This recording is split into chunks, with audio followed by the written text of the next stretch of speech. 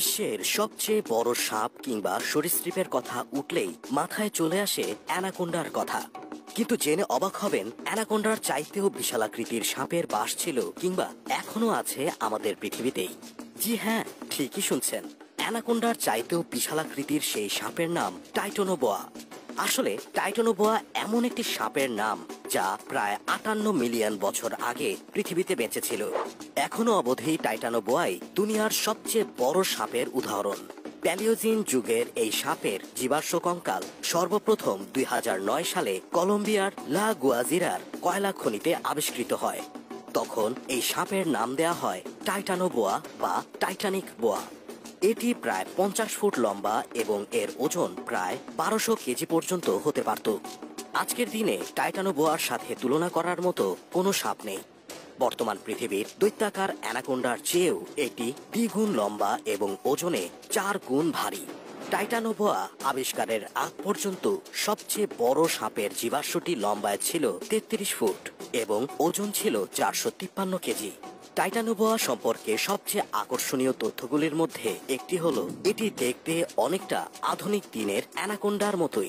বিজ্ঞানীরা মনে করেন, টাইটানোবোয়া অ্যানাকোন্ডার মতোই শিকারকে পেঁচিয়ে ধরে এবং শ্বাসরোধ করে গিলে ফেলত। ডাইনোসরদের বিলুপ্তির প্রায় পাঁচ মিলিয়ন বছর পরে দক্ষিণ আমেরিকার গ্রীষ্মমণ্ডলীয় জঙ্গলে আবির্ভূত হয় এই বিশালাকার সাপ। ডাইনোসরের বিলুপ্তির কারণে খাদ্য শৃঙ্খলে বড় একটি শূন্যতার সৃষ্টি হয়। ঠিক তখনই দানবীয় এই সাপ তাপিয়ে বেড়াতে থাকে ভূপৃষ্ঠে।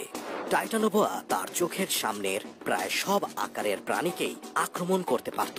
মাংসাশী এই সাপের সাধারণ খাদ্য তালিকায় ছিল বিভিন্ন ধরনের ছোট, বড় সরীসৃপ, পাখি, এমনকি বড় আকারের আস্ত কুমির। কিন্তু কেন এই প্রাগৈতিহাসিক সাপ এত বড় আকারের হয়েছিল?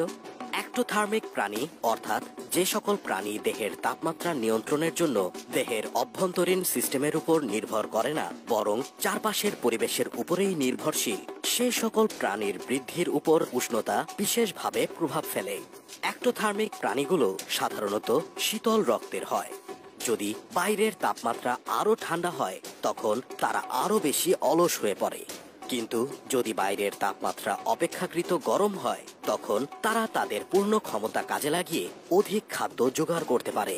সে সময় দক্ষিণ আমেরিকার যে অংশে এই সাপটি এই বিশাল আকৃতি লাভ করেছিল, সেখানকার আবহাওয়া খুব গরম এবং আর্দ্র ছিল।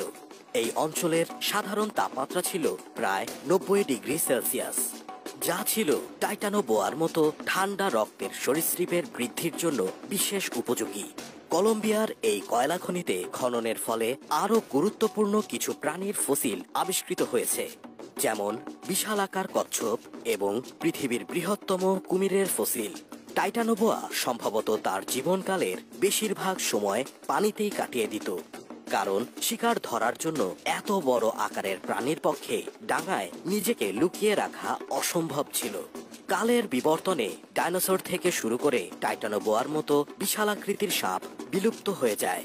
আর যদি এই সাপের অস্তিত্ব এখনও অবধি থাকে, তাহলে তাও তার অবস্থান হবে এমন কোনো গভীর অরণ্যে যেখানে মানুষের যাওয়া তো দূরে থাক, তার সম্পর্কে চিন্তাও করেনি আজ অবধি কেউ।